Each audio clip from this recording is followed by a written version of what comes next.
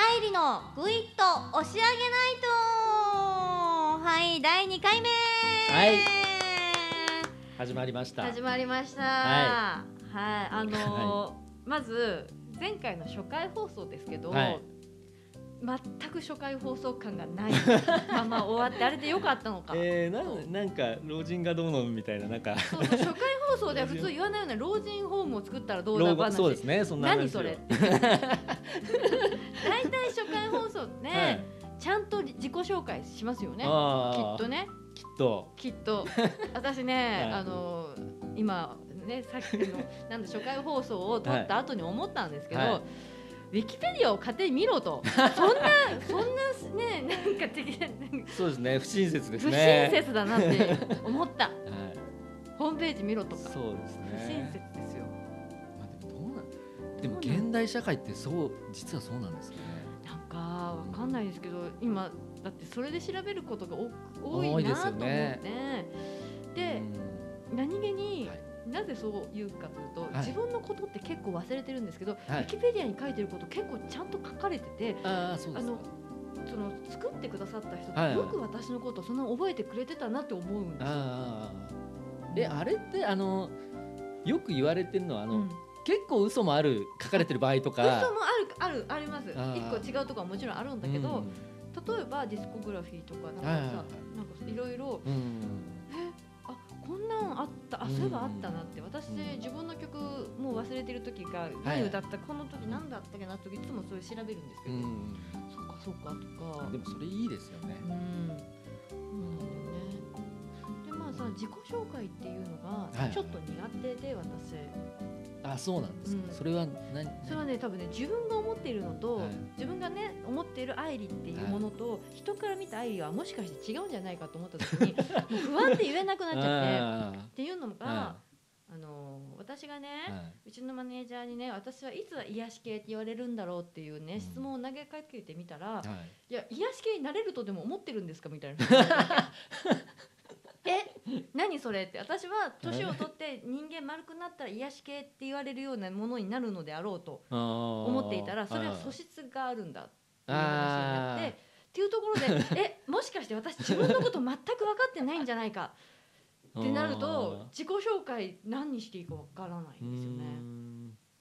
でも年取ってうん。なんかこう変わる人もいいますよね。うんうんうん。こうまろやかになっていくとまろかやかになったって言われるんです。ね 本当言われるんですよ。本当ですかもうそうですよ。だってめっちゃ濃いコーヒーに私生クリームめっちゃガンって入れた感じぐらいの甘くまろやかドになンって？ドンってあ入れたぐらいまろやかになってるんじゃないかと思われる。うーんまあでもそれ自己評価ですからねうん。わかんない。そうですねなんですかねそれやっぱいろいろ経験したり、うんいろんな環境とかによってこうやっぱ変わっていくんですかね、そうですね。でも全然変わらない人もいますよね。確かにね。うー。ん。うん。私は自分っていうよりは周りの人に、うん。あのすごい丸くなったねって言っていただけるようになったので、あ今はもう十分。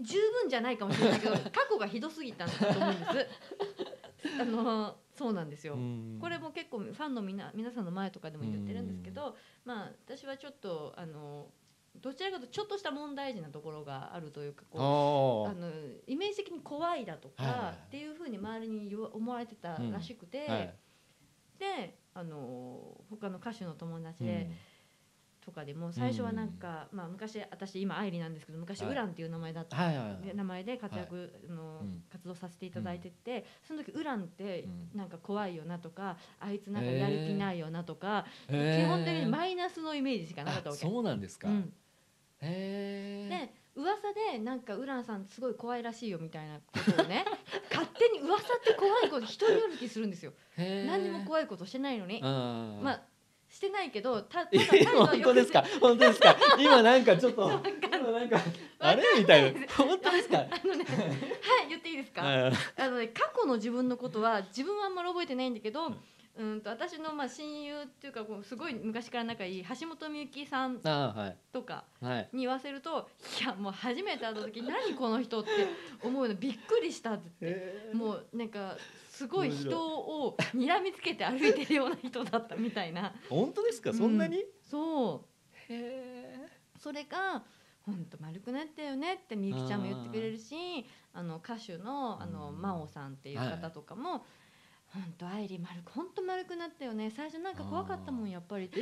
ーそれな何がそうさせてたんですか？みんなやっぱ周り敵みたいな。あのねはい周りの人は、まあ、大体全て敵だと普段時代は思ってた時期は 確かにあってなんか人を信用してはいけないんじゃないかとかあなんかこう、まあ、若い頃にねそれうん。ちょっとちょっといろいろあったことも、はいはいうんなんだろうね裏切られたりとか、はい。まあね、人それぞれ、ねはい。裏切りとかあるんですけどやっぱりその感受性の強い時にはい。いろいろ思うあと、ちょっと信用できなかったりとか。してたんですけど、うん。まあ、こういったお仕事をまたこっち業界のお仕事させていただくと、あれもしかしてみんな結構いい人多くないみたいな今まで私が見てきたところとはちょっと違う、ようななんか優しい人たちが多くて、もしや心を開いていいのかって思ってた時にファンの人ですよやっぱり。あのファンの人がねそれまで私があんまりこう歌詞もあ全く覚えずに歌詞カードをねファンの方にね持ってっつって、はい。持ってもらってその歌詞を見ながら歌ってた時代もあるんですけど裏の どうしようもないでしょ？すごいですね、うん。へえそんなことあったんだ。そう。へえそんな感じでであの人前で歌うのも嫌だから、あんりまりやる気もなく歌ってたんですけど、まあそれ言ってましたよねそう。なんですけどその、まあ、やる気のない私が、うんまあ、もちろんいるんですけど、うんそこで見に来てくれたイベントとかライブを見に来てくれたお客さんが、うん。こんなにちゃんと歌詞も覚えてこない私なのに、うん。すっごい楽しみな目で見てくれたんですね、うん。すごいキラキラしてなんかその場を楽しもうとして来てくれているっていうなんかその情熱みたいなのがすごいちょっと伝わった瞬間があって、はい。でわかんないんですけど急に私涙が出てきちゃって、うん。なんかでその日からはい。心を入れ替えたんですよ、だいぶちゃんとこの人たちとこの見に来てくださってるみんなと楽しみたいからそれは歌詞を覚えてみんなの顔見て歌った方が楽しいよなとかっていう当たり前のことがまずできてなかったのでうん。やっとそこでなんか当たり前のことをやろうという気になるっていうあとかだからなんかねもちろん周りの友達もあるし、まあ、自分の人生経験でいろんなことをまあ経験したのもあるけど、うん。ファンの人たちのおかげで丸くなった気がする。だから私を育ててくれたっていうか、うん。こう構成させて構成うん。だ 何やったんだって話なんですけど、でもうん。ありがたいですよね。そういうファンの方がそういう応援してくれることで、うん。こうなんか自分でなんか感じるとか、いやなんか嬉しかった。あすごい嬉しかった、ーいやでもそういうの嬉しいですよね、うん。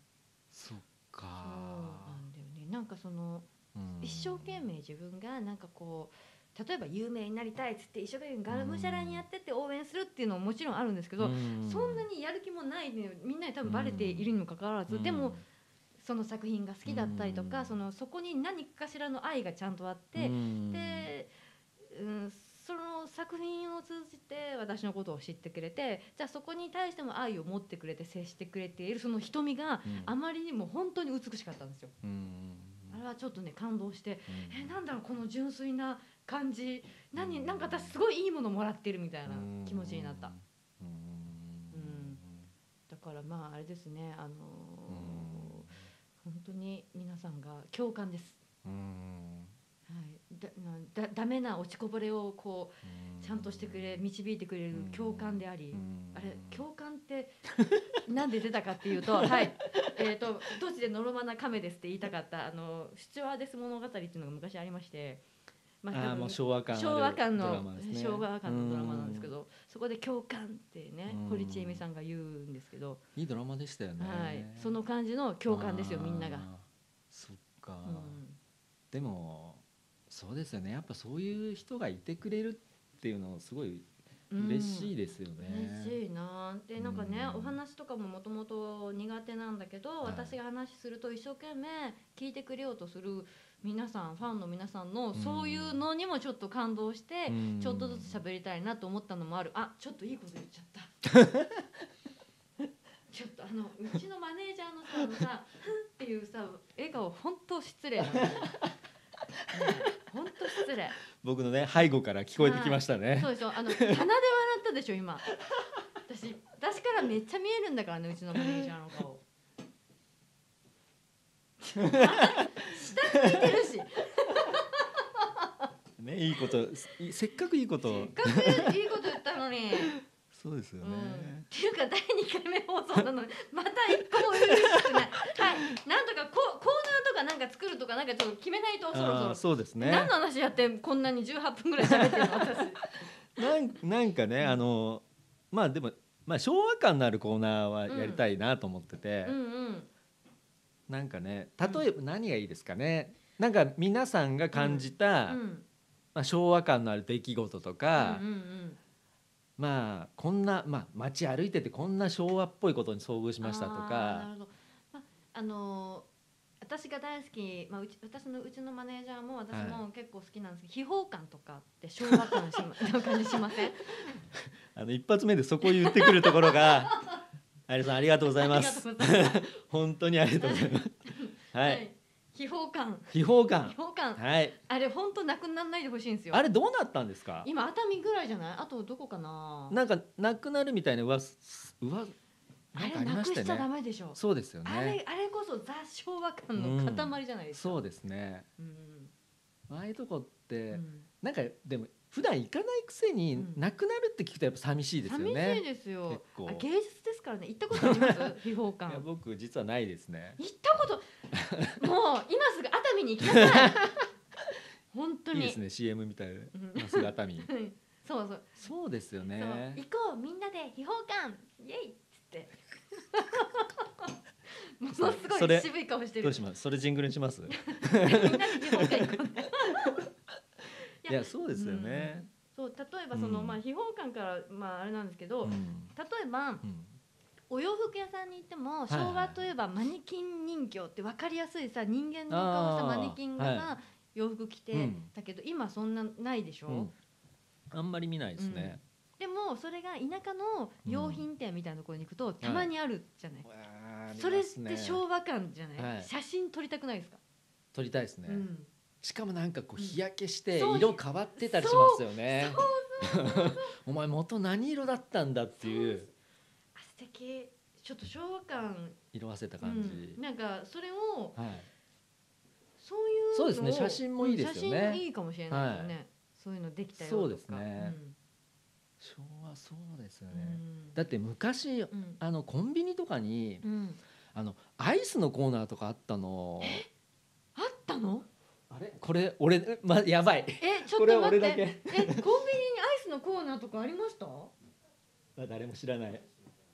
自分で取るんだって。え 自分で、えー、と店員さんに言いますけど店員さんに？あの要は31とかみたいな。そんいややばい。えミニあストップ やばい。これガチで俺だけですね。えあのあのなんですかそれ？ちょっと詳しく知りたい、何？あのちょっと待ってください、うん。本当にあったんですって。あの本当にええ知りません？ショーケースがあって はいはいはい。店員さんが取ってくれるんですか、あのレジ横とかにうん。スペースがあって、うんうん。まあ、そんなになかったですけど、うんうん。6個とか8個ぐらい、あのもうドンってでっかいバケツみたいのにアイスが入ってておしゃれ。そうですよ。めっちゃおしゃれ。でなんとかチョコミントとか、なんちゃらストロベリーとかうん。注文して、うん。で確か、うんまああのなんていうんですかあのコーンみたいのにポンって乗っけんのもあったり、うんうん。あの普通にコーラフロートみたいのにできたりとか、めっちゃおしゃちょっと待ってください。これ俺だけれ ちょっと待って。これこれさ聞いてるさ聞いてくださってるリスナーさんにさ そういう情報教えてもらいたいけどさそういえばアドレスああります？あアドレスね。アドレス作りましょうじゃあ。今さ今さ写真撮ってさ それみんなにおね自分たちも撮ってさ、ね。あのさ聞いてるリスナーさんにもさ写真とか送ってもらいたいはないと思ったけど、まずアドレス作らないとななかった。そっからですよね、じゃあもう早急に作って、はい。えーっとねじゃあ僕のツイッターとか、うん。そういうところであの拡散しますんで、はい。あのジャスティン・ヒーハーのはい。あのツイッターを見てください。はい ね、そっか。うん、まあ昭和感やりましょうよ。はい、うん。じゃあこれなんかコーナー名とかどうする？コーナー名何がいいですか？僕、うん。なまあ一応うんうん。何なんて書いてある？ここに圧倒的昭和感って書いてます。あ、それどうどうですか？愛理さん的には。圧倒的昭和感はい。圧倒的な昭和感 はい。圧倒。的じゃなくてもいい昭和感、そうですね。なんかうん昭和感。昭圧倒的。そうだね。まあ、まあ、じゃあこれ仮タイトルにしますか。あ出ましたね。やっぱ仮ですね、そうだね。じゃあとりあえず、はい。仮タイトル「圧倒的昭和感」っていうコーナーやりましょう、はい、やりましょう、うん、あのそれは、はまあもう平成も終わろうとしてるので なんかねもうね時代あの、はい。まあこの時代、まあ、平成も終わろうとしてますけれども、まあ、今でもちょっとたまに見かける昭和あこれ昭和っぽいなっていうものを、とりあえず探して、まあ、文章で、まあまあアドレスまだありませんけど、文章で送っていただくなり写真で こんなの見つけましたよっていうのを見せてもらったりとかすると、うん。そこから話を広げたりとかしてね。できるし、うんまあ、楽しいことがあるんじゃないかと。そうですね、うんだって最近あの昭和的なお菓子がよくもう製造中止とうんか聞きますよね、そうだよね、うん。あとその地域限定になっちゃったりとか、はいはいはい。カールとかもそうですもんね。そうですね。大阪の方とかしかないもんね。そういうのもねうん、例えばもうコンビニでは全然見ないのに、うん、こういうところに行ったら売ってたよとか。いいねいいね、ううん。ん実は結構そういうのありますよねあるね。なんかあのね。大きなスーパーとか行ったら置いてあったとか、コンビニじゃ見かけないけどみたいな、そういうのも結構あるし、あと地方がなんかやっぱりそうですね昭和昭和っぽいものが、そうですね残ってたりしますよ残ってたりね。あの昔のさなんか喫茶店とかにさ置いてあったさ、はい、なんか占いできるさ ななんていうの？前僕持ってきたやつですよね。そうそうそうそうそうそう前持ってきたやつあれなんていうの？ね。あれなんて言ううんですかね。だっけ、えーっとねなんかあの占いできるなんかなんか変な。五百円玉かなんか入れそうてガッチャンってやるんですよね。そううんうん、今日の運勢みたいなそうですね。あれ昔どこの喫茶店でも大体置いてありましたよね。うんそう特にねドライブインみたいななんかねなんだろう、そうですね、うんちょっとどっか行く途中に立ち寄って、うんうんそこでなんかこうちょっとテンション上がってるからやっちゃうみたいな。そうそうそうそうそうそうそうそうなんですよ、うん。まああれもすごい昭和感ですよね。昭和。感ですよ、うん。もう今もうたまにもしかしたらあるのかもしれないけど、うんすごい昭和感でなんかこう古古き良き感じがしますよね、ううんん。そうですね。ちなみにポケベルって昭和に入る？あれ平成？あれえーっとでもあ平成なのかな？平成っぽいよね。なんとなく。平成の始まりぐらい？ああそうなんですか、うん。うん、なんか昔ポケベルってうん。なんかあったような、あありましたね。僕はやっぱ使ってましたね、うんうんそうですよね、だって携帯僕初めに使い始めた頃、僕人より早めに携帯持ったんですよ、ええなんであの携帯持ってる使えばいいんだけど、うん。その携帯を出すのが恥ずかしくて。えもしかしてめっちゃでっかいガッチャンってしたやつですか？ちょっと待ってそこそれ遡りすぎです。さすがに。あのーアッコさんが持ってたような、そうそうそうそうそうそう。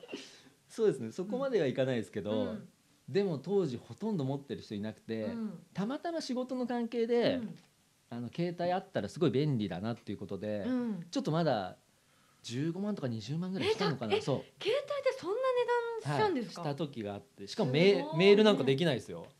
本当に。あ喋るだけ喋るだけ。えそれで持ってる携帯を持ってる人がほとんどいないんー、でめっちゃかっこいいじゃないですか。そうなんですよ。だから、うんゲ出すの恥ずかしくて。恥ずかしくないいやいやなんか、コンビニとか行って、あの友達なんか買い出しとかに行くわけですよ、でコンビニで今何弁当あるとか、こう見ながら話してると、もう周りの人がすごい見てくるんですよ、でうわーもう使うの恥ずかしいなとか。えー、いやいや俺持ってんぜって言いたくないですか、それで、うんあーまあ僕そっちに行かなかったですね、うん。恥ずかしい方あに、そっか。つつつましやかな。あそうですね。やっぱそういうとこであのはがき職人の性格が、ね、はい。多分私だと私持ってるけど多分出しちゃいます。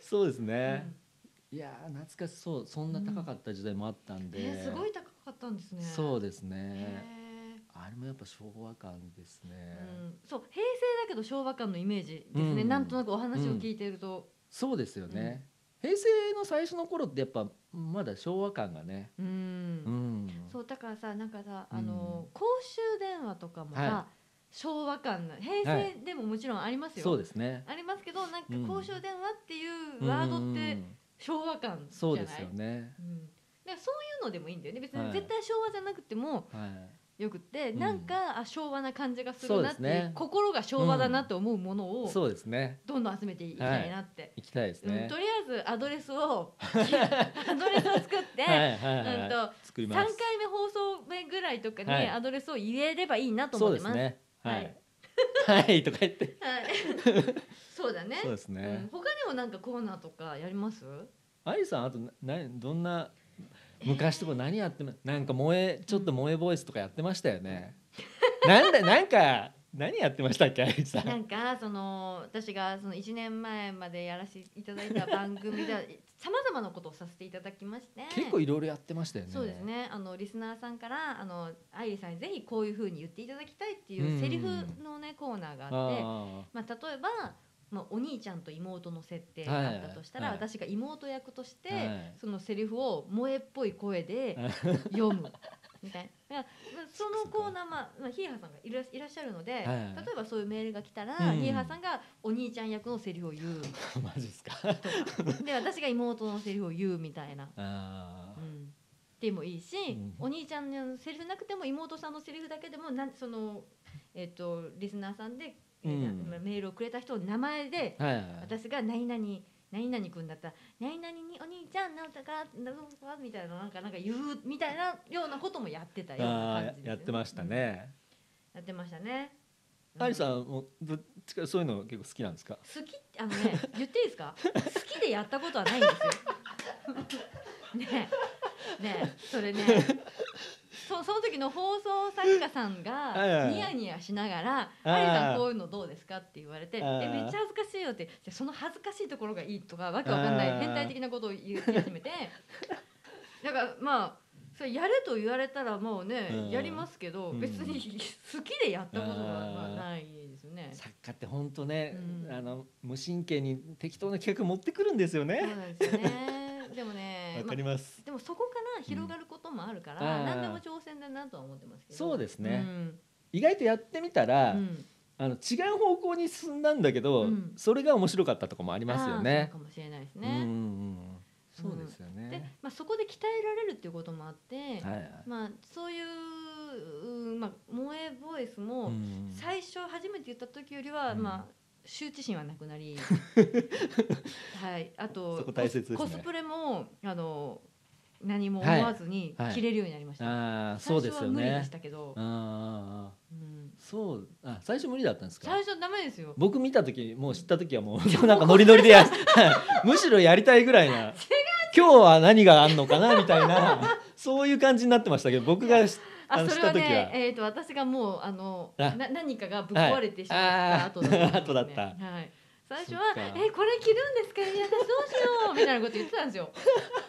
言ってたんですか？う言ってたえこんな着たことない。でどうめっちゃ恥ずかしいんだけどどうしようどうしよう？つってね。想像できないですね。そうですよ。もうトイレにトイレに行ってうん。着替えるじゃないですか、はい。そこからトイレから出てみ周りの人に見られるのが恥ずかしいところからですよ。うーんそれがもうなんかファスナーちょっと開いた方が平気で歩けるようになっちゃいましたね。人って怖いですね。慣れますね。に本当人間怖いそうですよ。でまたそんなはい。話をね、裏話も全部今言っちゃうになっちゃうっていう。言わなきゃいいのにっていう顔でうちのマネージャーがすごい見てますけど、ーいやでもそういう時期もあったっていうことでね。そうなんそんなそんなね。だからあれですよ。あのーこちらの「愛のぐいっと押し上げないとで」うん。うん新コーナーで今まで私がやったことがないようなことをあやってみるのっていうのもまあありそうですね新しい扉をねう、ん。開けるかもしれないんで。そうまあ、とにかく、ん。あのアイルのグイッと押し上げないとっていうのは新しい番組なので、はいはまあまあ、アドレスができてからですけれども。アドレスができてからですけど、はい。そこであのメールをいただいて「愛さんこんなことしたらどうですか?」っていうふうにはい言ってくれるのもありかなと思う、はい。うんこれからどんどん作っていけるので、なんかリスナーさんもこう参加してもらえると、ああそうだね、はい、なんかこういうコーナーあったらどうですかとか言ってもらえたら、うんうん。なんかねうん。そこを元にね。そうであうん。あとはさ、なんかさ、まあリスナーさん的に、はい。まあ、辛いことがあったら相談してもいいよ、い、いよ。あり何この上から。いいよいいよ。いいよ相談してもはいいいよ、愛理さん腕組んでますよ。なんなんだろうあのーちょっと密にね、お話できるようなっていうかなんだろうなそのリスナーさんの気持ちに寄り添えるようなところも欲しいなと思う。ああ、そうですうね、ん。やっぱねみんなこうね、うん。結構な闇を抱えてるかもしれないんで、か。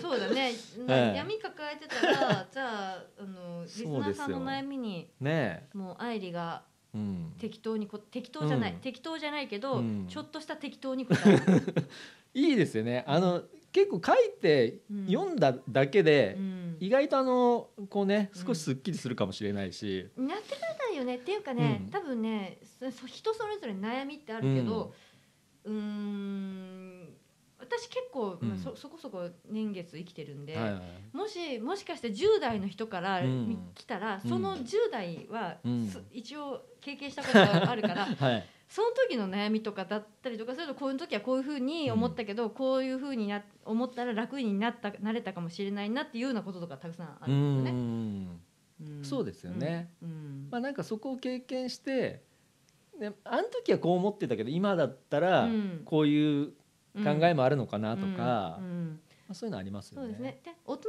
になっても、まあ現時点でもやっぱりみんなそれぞれみんな悩みがあってそれを一緒に解決していくのもいいよね。そうです解決っねていうか、うんちょっとでもこういうふうに思えたら楽になるんじゃないかっていうのをなんかこう見つけていけたらとかもいいかもうしれない。ん僕なんかそのあのメールいろんな番組になんか、メールするじゃないですかラジオ番組とか、うん。やっぱそういうの多分あって、うん。自分の生活の中で失敗したこととか、うんうん。なんか悩んだこととかを、まあちょっとネタっぽくしてうん。送って、うん。それをなんかパーソナリティさんとか例えば、うん。まあいじってくれるでも、何でもいいんですけど、うなんかそれによってそのこと自体うが、ん。